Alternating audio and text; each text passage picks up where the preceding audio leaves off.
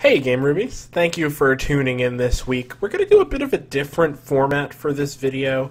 Um, I know I kind of dropped the Paper Mario review out of nowhere after about a year of practically radio silence on the YouTube front. Uh, but I actually have been making content. And so I wanted to kind of give a bit of a recap about what I've been up to and why my upload schedule has been so inconsistent, um, and provide you guys an insight into a project that I've been taking part in for a couple of years at this point. Um, so I know I post about this on my blog and on my Twitter, but for people who only watch the videos, um, I was uh, in grad school and working full time, uh, a couple of jobs actually, and so uh, my scheduling got kind of out of whack. But I was fortunate enough at the start of this year to have finished my master's degree, and that opened me up to a lot more time.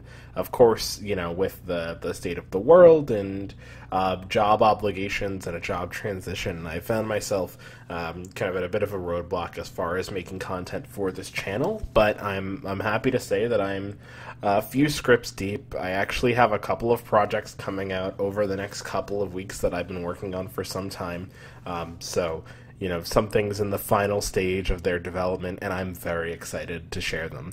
Um, but to kind of give you a bit of a recap as to one of the biggest things that I've been involved in over the last couple of years, um, I was fortunate enough to meet Andrew Pappas from RenGen Marketing at PAX.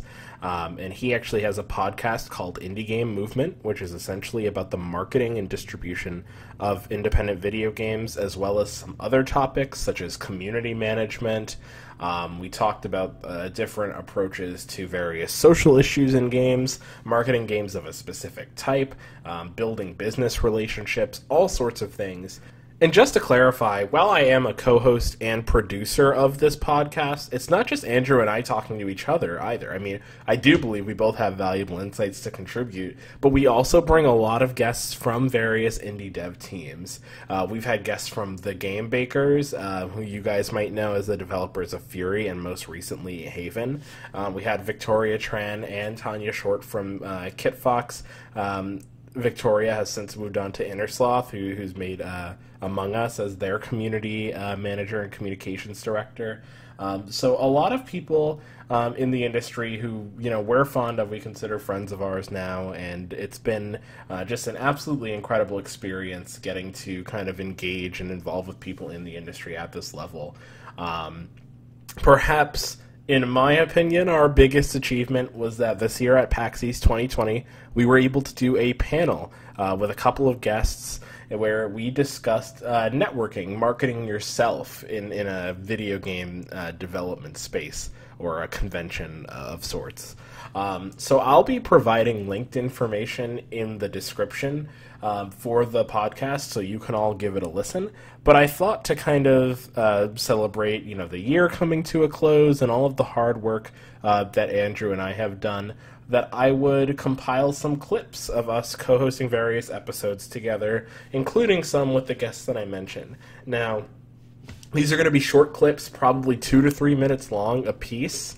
However, each of these episodes is anywhere from 35 minutes to an hour. So if you hear something that really stands out to you, please go in the description. I'll have all of the episodes labeled on this video so that way you'll be able to target the ones that are, are most interesting to you. And we have an exciting New Year's special that we actually just recorded like two hours ago. I think it's one of the best episodes we've done, and that'll be coming out on the 22nd. So um, please. Uh, I'm about to stop talking now so I can leave room for you guys to listen to the audio, but it's been an absolute blast, and I hope that uh, you'll find it worthy of your time and, and worth checking out. Um, I'll meet you guys at the end for a quick outro. When you kind of started it up, like, what did the team look like, and then when did you kind of decide, or how did you decide, you know, what other collaborators you wanted to bring in on the project? So we usually start with uh, Emeric Thoa, who is the co-founder of the studio with me and the creative director on Furi. We, we usually start by pitching each other uh, the idea and it and saying, okay, what do we really want to see in that game and what's important. And then uh, with Furi, it was uh, very easy because we had a very clear vision of the game. So we were like, okay, we want those unforgettable boss fights. So we need the best character designer in the world. So we made actually a short list of them, and we contacted them, and then we contacted Takashi Okazaki for that, and he said yes. So and it was the same for music. We were like, okay, the music we both he did more boxing than me, but we both did uh, sports or competitive sports or even um, how to say that when you do matches against people anyway competitive sports i guess so we both did that and we both listened to music before going to those competitive sports and we both listened to the this kind of electro music that gave gave us really so much energy before going into fights and so we decided okay this is going to be an electro soundtrack that's for sure and this is how we decided. The same we went through Spotify. we said, oh, those guys are awesome. We got to get them. We got to get them. We had a list and then we contacted them in the same way. Um, and it was the same basically for everything um, the music, uh, the art style, and then also for uh, the rest of the team. We already had a, like a core team at Gamebakers. We already games that were um, kind of action oriented. Our last game was actually a beat them up on mobile before that. Mm. So we already had a great animator, um, and we, we we were in need of a great uh, technical artist, and also we looked around us and we found one, and we contacted him and we pitched him, and, and then he said yes. So uh, yeah, we were lucky that everybody we wanted said yes. right. Yeah. So it sounds like it was a, a very well researched process pretty early on. Um, so kind of looking into like what you wanted, what was going to capture the feeling uh, that kind of came to mind when you gave your pitch, and then kind of starting to curate, you know, the the necessary talents. Uh, the thing I would add is. we, we had to have the beginning. So first we pitched Takashi Okazaki because it's, we knew it was all going to relate around the bosses and the hero design. And with, we knew that with his design, we were going to be able to convince anyone. And then we pitched one of the musicians. It was Carpenter Brut uh, which I really love the energy of his sounds. And and then he, he made the first uh, music for our first trailer, which was actually a, a fake gameplay footage in Unity, but uh, mostly animated with Maya, not really running with the, you know all the the programming the mm-hmm. programming going on, just mostly fake animations in, in, and rendering in Unity and his music. And and this is based on that that then we pitched everyone else. And this is also how we signed our agreement with sony based on that video.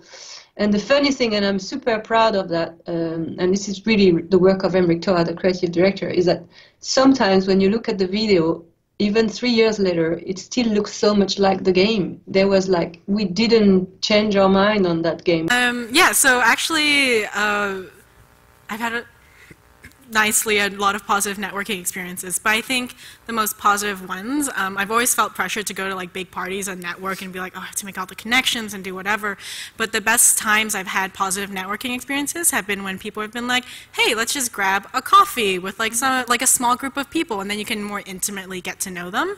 Um, I found all of those to be much better than any party I've ever been to, um, like dinners or just like anything like that, and just having um, when they're asking me for like mentorship or advice, like doing something simple like paying for my coffee, like they don't have to, and I, will try to pay for my own coffee, but it's knowing that the time that you take away from someone is very valuable to them, um, and acknowledging that, like that gives me a positive experience with them. Yeah, I, I mean, I could uh, the the example that comes to mind for me. Uh, Andrew and I met on a bus like yep. two years ago. you know, it, it, so it doesn't always immediately come over as a networking experience. You know, we were just striking up conversation. Um, he wore an awesome Luigi uh, cosplay, by the way. Thank you. Yeah, I am the best Luigi. That's not negotiable. Oh. But um, you know, just to to kind of revisit. You know, we said marketing yourself is kind of one of the core tenets of what we're discussing here. I think a lot of the time a reservation that people have is that they don't feel like they have enough experience behind them or they feel like they have to earn the conversation, which I don't think is necessarily true. I think the reason we started collaborating together, you know, like of course I'd had credits and things that I'd worked with, you know, prior to, but most of our conversation was really around just perspectives on games, you know, hmm. and how we felt things were in the industry and, and kind of what our expectations were going into PAX, people we wanted to meet, things we wanted to talk about. You know, and I think in having that conversation, we allowed our values to shine through a little bit more than, say, our experience. And if you're just starting out, that's honestly a really great way to go because there is an absolute like a reservoir of talent in this field. What a lot of people are looking for are people who are very personable and, and relatable, who you know have values that at least in some capacity kind of bounce off of their own. Basically, providing that good work-life balance between these three entities. And I was so passionate about all three of them that I felt like anytime I devoted more time, a little bit more time to one of those, it was pulling me away or tearing me away is probably the best way I could describe it from something else. It was really painful and and ultimately it wasn't healthy. Um, so, and, and, that's where I'm kind of like going on this tangent a little bit is to be accepting of what you're allocating for those things. So, as you said, Mustapha, when you're looking into the scope and, and really thinking about what you're applying, uh, reallocating those resources, and in this case specifically, as it probably relates to a lot of you, um, coming down to time, you know, planning it out, and and kind of like setting those expectations like hey i'm going to do this if you go over a little bit here and there that's okay it's more of a, a process than anything else and then to monitor to that and move on um, but you, you really want to do that because if if you don't and and and if you don't give yourself that much flexibility, you can run into other issues too. So again, the the, the level of scope you said, and also um, applying what those allocations are and, and being flexible with it, I think is probably the best way you can go about it, a, a, as you described. Yeah, and I, I would definitely, um, yeah, I appreciate that, and I would, I would uh, definitely double down and even say, as as you're, um, you know, considering those allocations, especially uh, for for game developers, you know, uh, knowing your project is also a really big part of this. Mm. Uh, like, like it's hard in the early stages to know exactly what a project's always going to ask of you, um, but there are some things you really want to get a start on early. Um, for instance, if you know that you're going to have to outsource anything, assets or, or otherwise, yep. uh, starting to kind of curate the people you have in mind, you know, um, like all of those things kind of prevent you from reaching a point where, okay, now you're at a point where you can't really move forward in development without having access to these things, and you have to scramble to kind of pull something together. Um, yeah, so starting to have those conversations early too is a great way of having a sense of, of all the resources that are at your disposal as well. So and there you guys have it. So uh, those were just a few episodes that we've done. The show's been going on. We're on a bi-weekly cadence and have been for most of this year. So uh, there's there's plenty to listen to. So many different topics, so many different developers and people that we got to speak to, um, and it was an absolute privilege connecting with each and every one of them and discussing these topics that are so uh, so personal to us and so relevant to this industry that we all have such a deep love for. Um, but I want to thank you all again for tuning in this time. I know it was a little bit different. Uh, I'm hoping that by next week I'll have something for you that's a little bit more of a return to form. We'll see. Um, I, ha- I, have something in the works that I'm very excited for. It's been a long time coming. Um, if it's not up by end of next week, um, it, would be up prior to the end of this calendar year, and it's going to be a bit of a bit of a behemoth. Uh, something that I'm I'm so so proud of how it's turning out. Um, but I want to thank you all so much again for tuning in. Um, I appreciate your your time. Please feel free to go into the description uh, check out the podcast if you want to listen to it further. I, I, think anybody who's interested in games in any capacity has a lot that they can learn from this, especially anyone who wants to go into game development. Uh, but thank you again, uh, and come back soon for more from the game room.